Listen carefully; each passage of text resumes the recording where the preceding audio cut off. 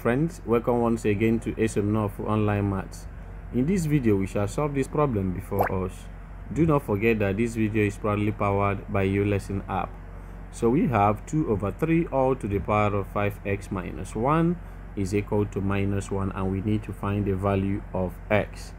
Now you notice that this is a fraction and the best thing to do to overcome this fraction that we'll have here in order to get a better result is to first of all um, multiply everything by the denominator which is 3 so everything must be multiplied by 3 by so doing um, we shall have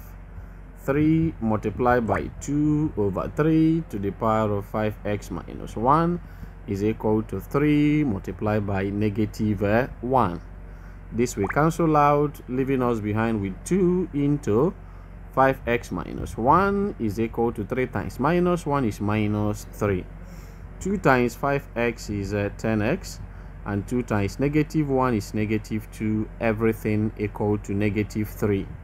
you then move the negative 2 to the right hand side it turns to positive. So from here 10x is equal to minus 1 divide everything by 10 in order to get the value of x. Therefore x is equal to minus 1 all over 10 this is just the value of x that satisfies this equation